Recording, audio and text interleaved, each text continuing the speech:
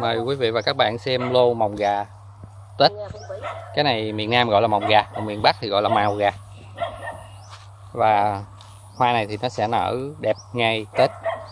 Và bây giờ chúng tôi cung cấp sỉ cho các đơn vị và cá nhân mua để bán lại. Và giá là từ 60 nghìn đến 80 nghìn một cặp. Nghĩa là từ 30 nghìn đến 40 nghìn một cây.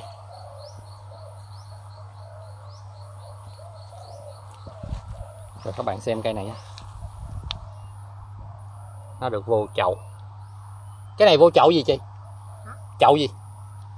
cái này là chậu C Chậu C11 đúng không? ờ, cái này là chậu C11 nhưng mà 11B chứ không phải một B. À.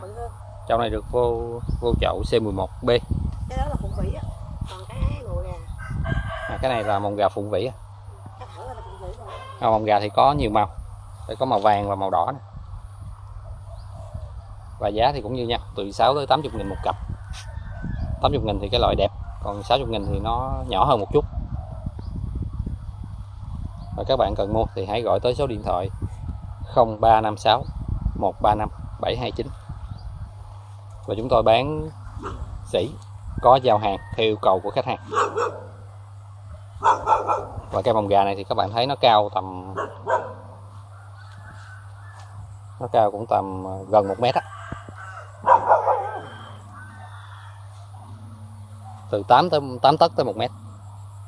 Có cây cao 1 mét 2 luôn. Tính từ đáy bột